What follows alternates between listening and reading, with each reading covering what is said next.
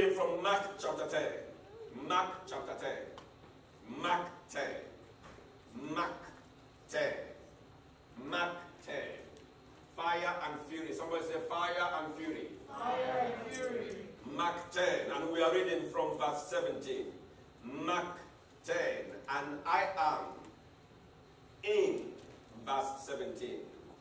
And we're going to read all the way down, I believe, to uh, 30, if we have time for that. Now, as he was going out on the road, one came running, knelt before him, and asked him, Good teacher, what shall I do that I may inherit eternal life? So Jesus said to him, Why do you call me good? No one is good but one, that is God. You know the commandments. Do not commit adultery, do not murder, do not steal, do not be a false witness, do not defraud, honor your father and your mother. And he answered and said to him, Teacher, all these things I have kept from my youth. Then Jesus, looking at him, loved him and said to him, One thing you lack. Go your way, sell whatever you have and give to the poor, and you will have treasure in heaven. And come, take up the cross and follow me. But he was sad at his word, at this word, and went away sorrowful, for he had great possession. Somebody say great possession. Great possession. Then Jesus looked around and said to his disciples, How hard it is for those who have riches to enter the kingdom of God. And the disciples were astonished at his words. But Jesus answered again and said to them, Children, how hard it is for those who trust in riches to enter the kingdom of God. It is easier for a camel to go through the eye of a needle than for a rich man to enter the kingdom of God. And they greatly, and they were greatly astonished, saying among themselves, Who then can be saved? But Jesus looked at them and said, With man, with men, it is impossible, but not with God. For with God all things are possible. Somebody say, All things. All things. Then Peter began to say to him, See, we have left all and followed you. So Jesus answered and said, Assuredly, I say to you, there is no one. Somebody say, There is no one. There is no one. There is no one who has left house, or brothers, or sisters, or father, or mother, or wife, or children, or lands, for my sake, and the gospels, who shall not receive a hundredfold now, in this time, houses, and brothers, and sisters, and mother, and mothers, actually, and children, and lands, with persecutions and in the age to come, eternal life. But many who are first will be the last, and the last will be first. The last first. Somebody say, I will be the head I will be the head. and not the tail. and not the tail. I will be the head I will be the head. and not the tail. and not the tail. I will be the head I will be the head. and not the tail. and not the tail. I will be the head and not the tail. and not the tail. I will be the head I will be the head. and not the tail. and not the tail. I will be the head and not the tail. not the tail. I will be above I will and not below. I will be above I will be above. and not below. and not below. I shall not be pitied. I shall not be. I refuse to be pitied. I refuse to. I am I am. who God says I am. I will do what God says I will do.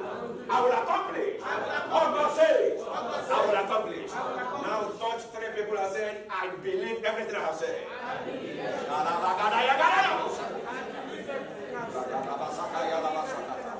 I believe everything I have said. I believe everything I have said. I believe everything I have said. I have believed and therefore I have spoken. I believe and therefore I have spoken. Now, this story is about the rich young ruler. And the Bible says that he ran to Jesus. Somebody say, run to Jesus. Run to Jesus. Don't run to man. Don't run to man. Don't run to government. Don't run to Don't run to brother. Don't run to God. Don't run to sister. Don't run to father. Don't run to mother. Run to Jesus. Run to Jesus. Run to Jesus. Run to Jesus. Now, when he came to Jesus Christ, he knelt down. He knelt down, meaning he was serious about what he was asking.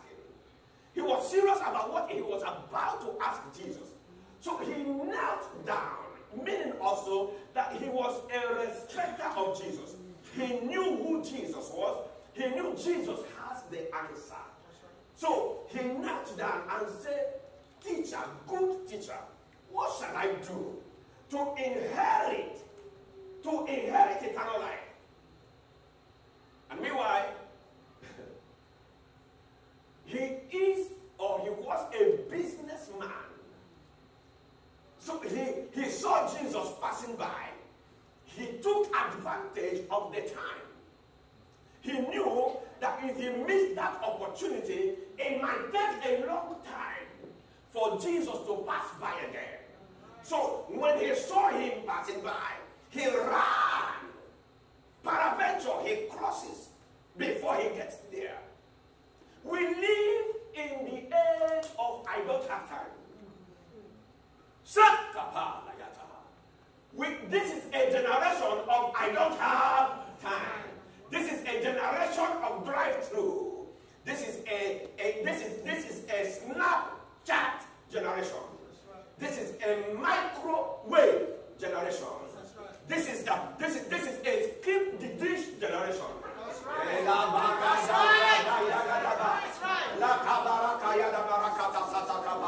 yeah, this is a, this is a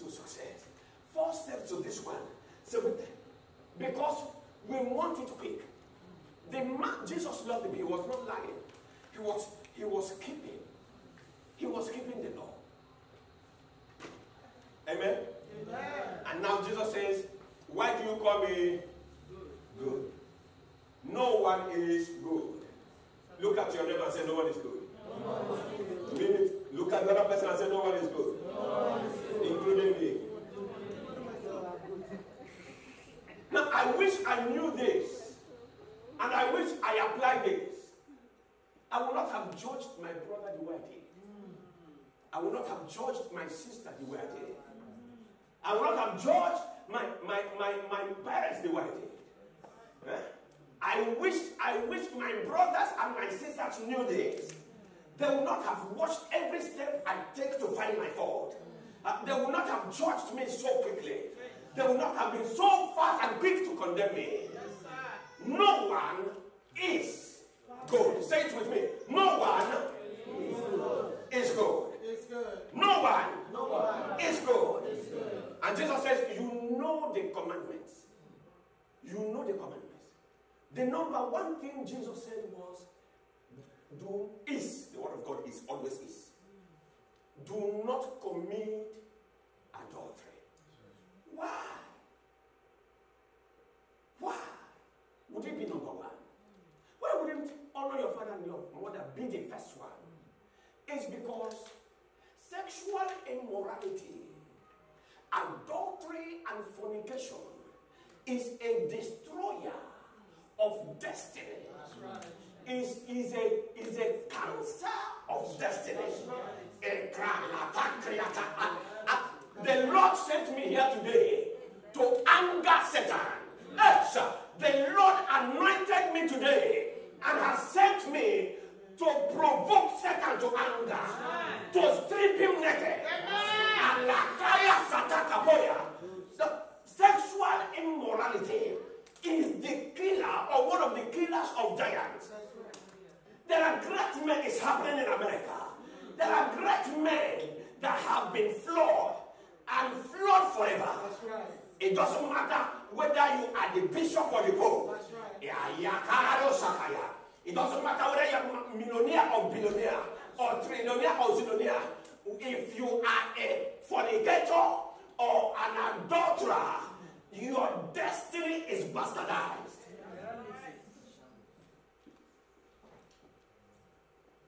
You know, you, you know, you grow to a certain age that you don't fear again. Eh? Oh no. No man called me. No man is me. God called me and anointed me. Right. And I have come to please him. Amen. Amen. So be very wary of fornication. Be wary of adultery. Right. It's, now, people, people don't even commit it with people. People commit it with telephone. People commit it with tablets. Right. People commit it with laptops. People commit it where it, it, it doesn't it doesn't happen anymore. It does, but it, it's happening more now in, in the digital world than it is happening in the physical world. And if you're watching me over there in the internet and you feel like you are stuck in the middle with pornography, now, can I tell you something about pornography, church? Pornography is a mind twister. Right. Pornography is the is the is the is the crack cocaine of sexual addiction. It, there is nobody who who is involved or hooked into pornography that can become anything in life. E krato, krati, kratalakati, Anyone who is hooked into pornography, his mind is changed upside down. And that is why the person will be hollow inside. That's right. The person will be dark inside. That's right. The person will continually feel guilty even when nobody is judging him. That's right. And no, no, I don't know about I don't know about any any any quoted statistics. No one who is involved in pornography can pass exams. No, you cannot. Why? Because your brain, your mind is thinking. It is it is corrupted by Satan. Uh, because when whatever you read, you, what the the, the dirt, the the, the the the spiritual toxicity or the spiritual toxins attacks whatever you are reading. And you anyone who is involved in pornography, tell the person this is your phone number. One, two, three, four, five, six, seven, eight. Ask him tomorrow morning, what is my phone number? He won't remember it.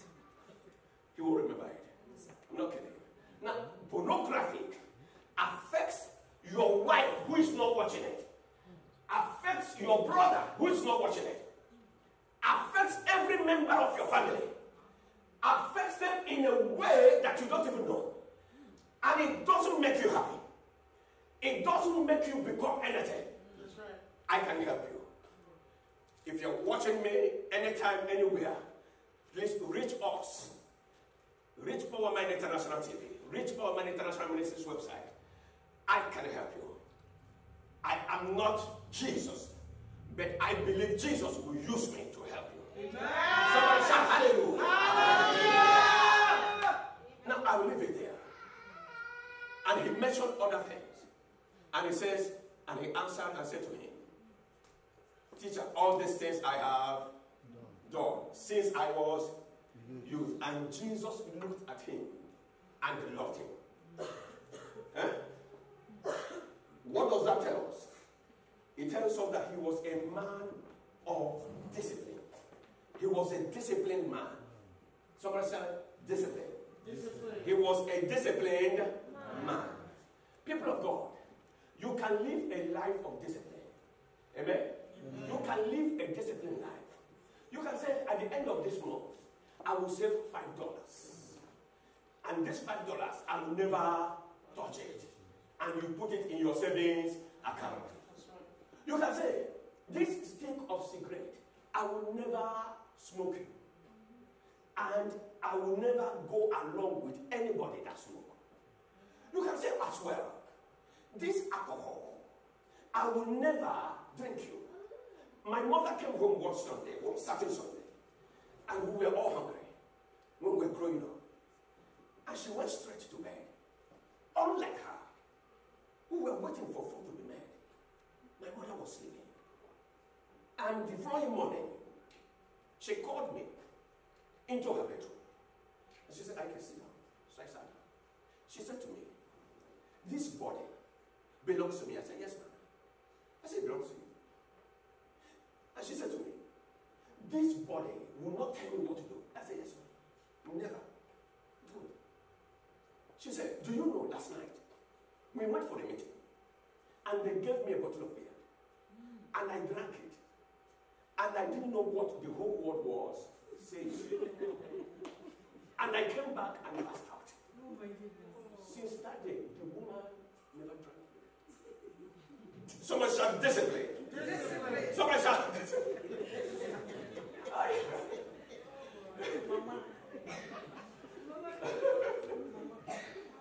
Hallelujah. In the same way, you can discipline. You see, the, the group that you find yourself, the, the, the association that you find yourself, determines how far you can go in life. That's right. If you read verse 56, the Bible says, and he went to another village. Amen? And is it this one? I think in Luke version of it. He went to another village. Sometimes you have to leave your village.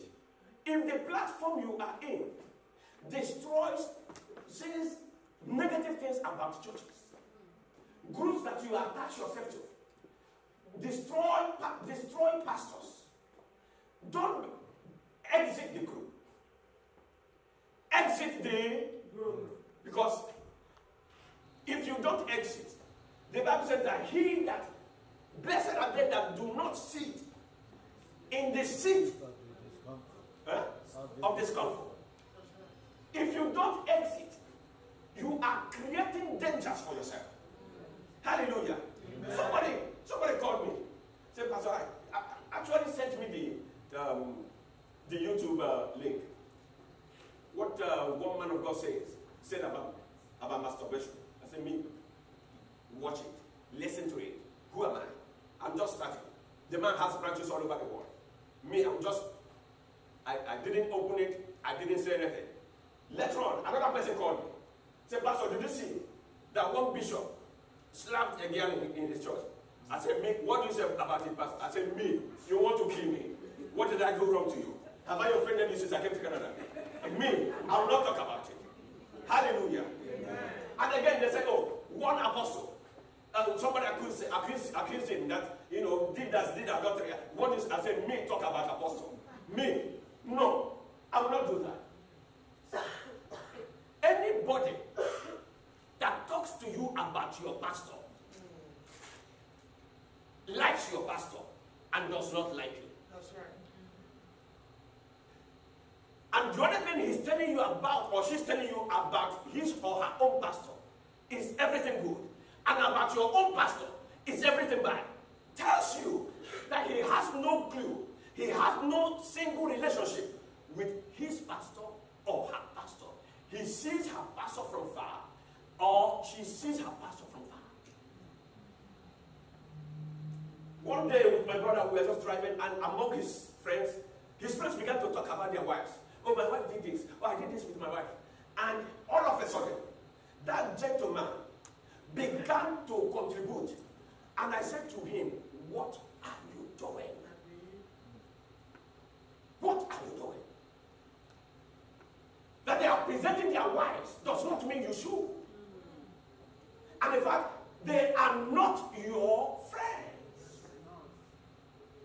Anybody that comes to you and says, Your husband this, your husband that, your, watch that woman. It could be she's interested in your husband. Oh, I didn't say anything. Hallelujah. Hallelujah. Church, are we communicating today? Yes, Shout hallelujah if you believe. Hallelujah. Then Jesus looking at him, loved him and said, One thing you lack. One thing you lack. One thing you lack. Go your way. Now remember, Jesus didn't say, Go away. John 6 37. Jesus says, Anyone, everyone that God has given to me will come to me, and I will in no wise cast them away. Okay? Jesus didn't say, Go away. And you cannot say to anybody that comes to you because of Jesus, Go away. We don't do that. Amen? Somebody say, I don't do that. I don't do that. And then Jesus said, Sell whatever you have. Sell whatever you have. He didn't have problem with the number one, which is go your way. And he didn't have problem with number two, which is sell whatever you have. If you read it in Luke version, it says, sell all. He didn't have problem with the number two.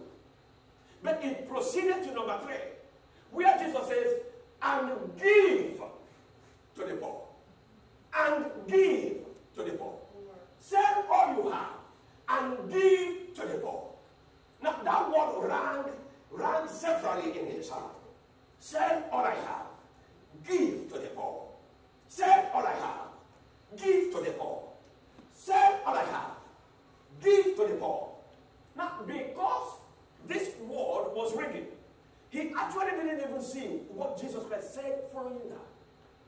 Sell all I have, give to the poor. Which poor? Are they not poor because they are lazy? Are they not poor because they don't work hard?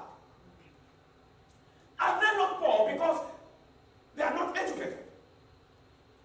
Are they not poor because they blew their chances? Are they not poor because they missed opportunities? They mismanaged opportunities? Are they not poor because they drink a lot?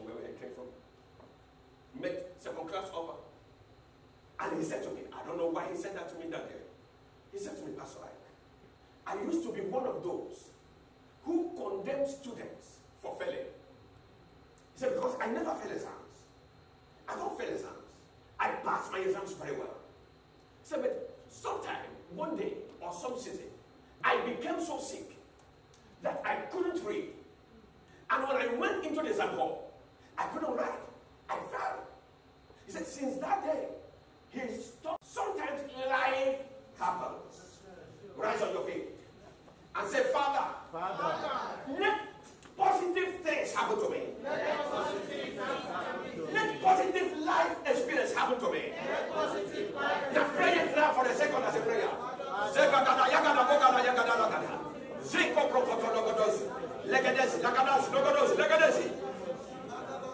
Magada, zagada, yagada, bagada, zagada. Rogodozodoya. In the name of Jesus. You may be seated. Now, because he was already angry, he was already infuriated. He did not pay attention to the next word that Jesus said, which was actually the reason why he ran to Jesus in the first place, which was actually the reason why he, he, he, he, he sought to see Jesus. He said, and you will have treasures in heaven. What is a greater treasure in heaven than eternal life? What is a better valuable treasure than anyone will anyone will have except eternal life? Now he was angry, and the Bible says, and Jesus says, Come and follow me. Come, take your cross. Now, the, Jesus added salt to injury by saying, Come, me, come. Me, rich, young ruler. I am rich. And on top of that, I am very young. And on top of that, I am a political figure. I'm a public figure. And then you said, Me come to you and then follow you. Don't you see how many people are following you? How pride destroys. Pride destroys.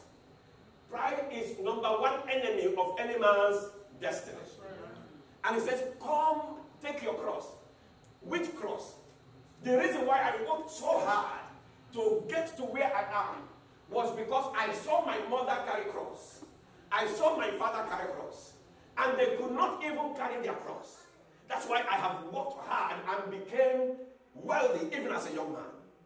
And Jesus says, when you have taken your cross, what is your cross, by the way? Responsibilities. When you have taken your cross, follow me. Jesus, I heard that you fed 5,000. And in another instance, you fed 4,000. But I have employed people all over the world. I feed more than that every day. And you want me to follow you. Whatever he says you, whatever he asks you to do, do it. Somebody say, do it. do it. And the Bible says that he left and he was sad. I want to talk to us a little moment. Jesus' disciples were astonished. When Jesus says, it is difficult for a rich man to enter into, they were astonished. Why were they astonished? They never really knew Jesus. They never knew him. First, one day Jesus, a young, handsome man with beautiful hair, with fire in his eyes, came to the shore of a river and saw people who were washing their nets. Saw John and his brother and Zebedee, their father, and their servants. Saw Peter, and he chose Peter to use his boat. And after that, he preached. And they were wowed. They have never heard any man preach like that. They have never seen a young person in Israel with such power, with such glory, with such glamour, with such beauty, with such excellence. And they saw the glory of God upon him. And after he had preached, he told them, Cast your net to the deep. Launch out and cast to the deep. And lay down your nets. And they did, even though they had not caught anything. And when they obeyed, they caught so much fish that their both boats began to sink. And Jesus said a word Come, follow me, and I will make you fishers, fishers of men. They didn't understand what fishers of men. In the men actually, it could be another business opportunity. Amen? Because they never really knew who Jesus was. Do you know Jesus? Does anybody here know Jesus? By the way, the reason why I asked the question was because Jesus was revealed to Peter that he is the Christ. And Jesus says, Upon this rock I will build my church. For flesh and blood has not revealed it to you, but my Father in heaven. And a couple of minutes after that, when Jesus declared that he was going to Jerusalem to die, Peter took him by the side and said, Why do you say you're going to die? You will not die. And Jesus rebuked him. He never knew. Jesus also said, Peter, you will deny me three times before the cock crows. And he did. And the people, the, the disciples of Jesus, after Jesus Christ rose from there, two of them were going to Emmaus. One, no Cleopas, and the other person. And Jesus walked along with them and began to open the scripture. And then when he went into their house with them and broke the bread and gave thanks, and they re- recognized that it was him, he disappeared. They said, Were our hearts not burning with us? And the Bible says, when they saw Jesus the first time, and they were telling him, Jesus asked them, What is going on? He said, Are you the only stranger in Jerusalem, in Israel, that, do, that does not hear or does not know what has happened in Israel in the past few days? He said, About what? He said, About Jesus of Nazareth, a mighty prophet, in word and in deed, who was crucified, and who was now, according to our people, now raised up. They said, They told us now that he, he is alive. He said, We thought that he, we hoped that he was the one who was going to restore the kingdom to Israel. Just a little bit of note right there that they never knew Jesus. Do you know Jesus? Amen? Do you know Jesus? The question the young man would have asked Jesus would have been, What is that one thing that I lack? What is that one thing that I lack? I tell you, every man lacks that one thing. But those who have found that one thing are the world changers. They are the people that Jesus Christ calls or refers to the laborers. He says, The harvest is plenty, but the laborers are few. Now, what is that one thing that the man lacked?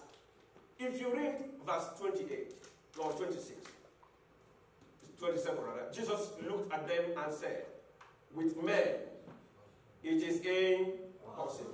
With men, but not with God. For with God all things. Are possible. With men does not mean with a human flesh.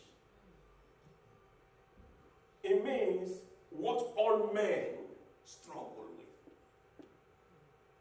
What all men struggle with. It is the same thing that the rich young man lacked. It is the same thing that made him walk away without obtaining the eternal life. What was that? Men lack total surrender to God. Men lack absolute commitment to God. It is a struggle between all men. But those who have overcome it, Apostle Paul says, One thing I do, forgetting the things that are behind.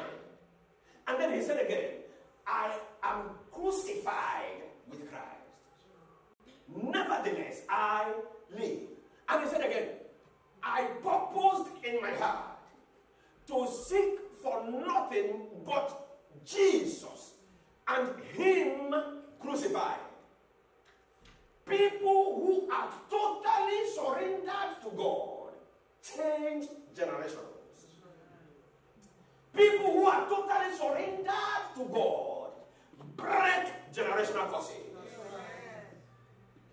People who are absolutely committed and surrendered to Jesus are the world breakers. Somebody shout hallelujah. Hallelujah.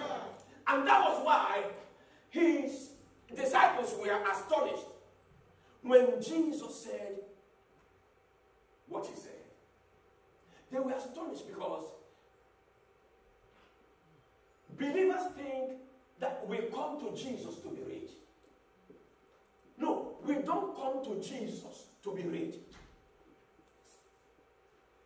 Hello? Hallelujah. We do not come to Jesus to be rich. Why? Because we are already rich. Amen. We come to Jesus to be saved. We come to Jesus to serve. We come to Jesus to preach. We come to Jesus that He may use us. People of God, you are not powerful and successful because of the big car you drive or the big house you live in. No. You are not powerful or successful because of your degrees, five degrees and three diplomas. No. You are successful because He has made you a son. For those that do receive Him and do believe in His name, He has given the power to become. That was why He said, Master, what do I do? It is not a doing thing, it is a being thing.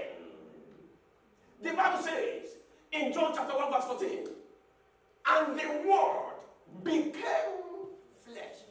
The Word didn't do flesh. Amen? Amen. Now listen to me. Thank you, Lord. So you know that it is the challenge of every man. If you read Luke chapter 9, from 57 to 62, now Jesus Christ what was passing his way again.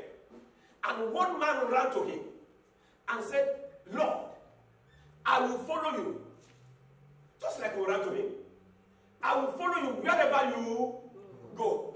Jesus says, Foxes have holes, and birds have nests. In other words, the position of a fox is the hole, the position of a bird is the nest. Coming to me or running to Jesus or coming to church is not because of position. It's not because of, of, of, of I, I, let me preach. I, I can preach. No. Or let me be the choir master. Or let me be the head usher. Or let me be this one. No, it's not a positional thing. It is a commitment thing. It costs a lot to be a pastor. It costs you, it will cost you everything to be believer. Hallelujah. Like engineers here, thank God. In 2012, one early morning I was having my prayer. And the Lord said to me, go and roof that place. And before then, my wife and I had taken away 25,000 from people of God. You, I have never touched that kind of money personally for personal thing. We're taking $25,000 to, you know, to start a work here. And the Lord said to me, go and roof that place. I said, Lord, I, what do I do? What do I use to roof it? I don't have the money.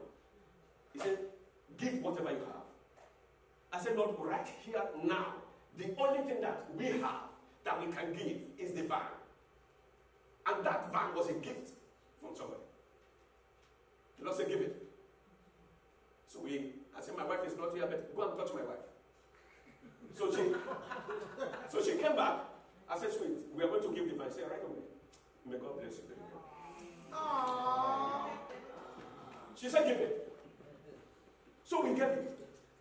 When we gave, that was that was a Wednesday, a Tuesday, on a Wednesday, we came here. An engineer drove by, did his measurements, did man, and then was about to walk out from that point, actually. And then he came back to me. He said, Pastor, I've been thinking about this. How about I give you, I give the church this van? He was driving a van that time, a master van. So instantly we had two vans. And there was one member of the church who drove in as we were leaving that day. That day was a Bible study. The man came and we shared the testimony. He said, I will give 2,000, 2,200. Wow. As we are leaving the site that day, my heart was exploding. When we got to the, when we got home, it was a Bible study. Switcher was here. We started thanking God. The Lord spoke through her and said, You are just thanking me for this one. He said, Wait, something bigger is coming. The following day, Thursday, I was in my prayer room. A man was buzzing on the bell. Buzzing, buzzing, buzzing, buzzing. My wife went and, and answered. It was the man that promised 2,200 the previous day. He came to me. My wife said, I'm praying. He's praying. He said, Call him out. I, I came out. So he said, He was taking his shower. Sorry, church, do you have time for me to finish my testimony?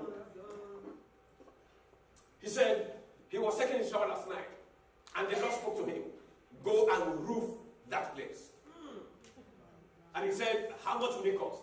I said, 8,000. He brought out his check on my kitchen counter and wrote the check 8,000. People of God, it cost you everything. God bless Victoria. The van was gone.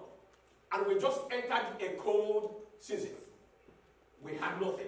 No car, no nothing. I have three children. God bless her. It was Victoria that would come and drive my children to school and drive them back until God moved. So it is not, it is not a positional thing. It is a commitment thing. Someone shout commitment. Commitment. Somebody shout commitment. Commitment. Somebody shout commitment. Commitment. And last week or last two week Thursday, I came to church because you know once in a while my wife is, is tired. So I so I can't always be bugging her to drop me off. And I kept asking people for, for ride to bring me to church on Thursday. On the last two weeks, I came here, my, my heart was, was not happy. So I said, Lord, I need a car. Before then, the Lord told me, He said, I will give you a car. I said, Lord, I believe. So on that particular Thursday, I was praying and my heart was bubbling. I stopped the prayer. I said, Lord, I need a car. He said, if I give you a car, other than the one you have requested for, would you take it? I said, Lord, why do I will take it? He said, okay, call this number now. So I dialed the number. I switched my phone on and I dialed the number. It was a Toronto number. And the brother picked. And the brother didn't pick. The Lord said, he's going to call you back. Don't switch off your phone. So within two or three minutes, he called me back. The Lord said, go direct to the point. Tell him you need a car. So I said, brother, I need a car. And I, I need it just to bring me to church and take me home until I'm ready to buy my car. He said, Pastor, you know what? On May 21, I made a vow to send something to you. But now that you have said it, I have a Tacoma truck in Nigeria that if it is sold, I will take part of the money and add it to what I already have vowed to send to you, and I will buy you a car. As he was saying, the Lord said to me, the Lord spoke in my heart, tell him that truck is sold. Hmm. I hesitated. He wasn't hearing, I was the only one hearing. So the Lord said, say the truck is sold. So I said, brother, the truck is sold. He said, Pastor, by the grace of God. I said, no. I said, say amen. So I said it again. The truck is sold. So on Tuesday, in the morning hour, church, do you have time? Like a little bit. On Tuesday morning, he sent me WhatsApp text messages. He said, Pastor, congratulations. I have bought you the car. This is this is this is-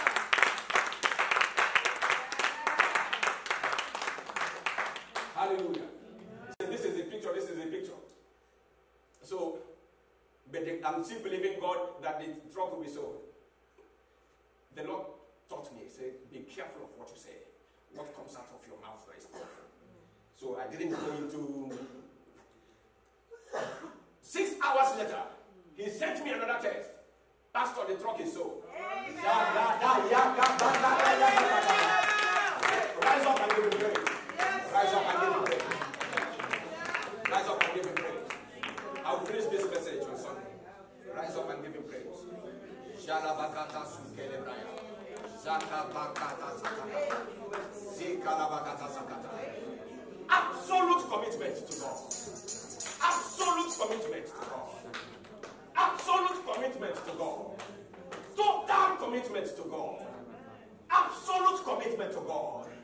Somebody say, Lord, help me. Lord, help me. To be committed. To be committed. Lord, help me. Lord, help me. To be committed.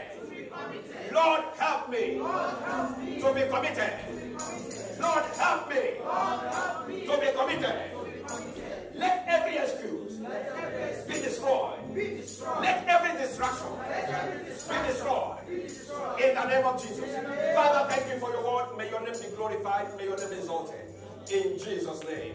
Amen. Fellowship of the Holy Spirit be with us now and forevermore. Amen. Surely God's goodness and mercy are following us all the days of our lives. And we are dwelling in God's presence forever and ever.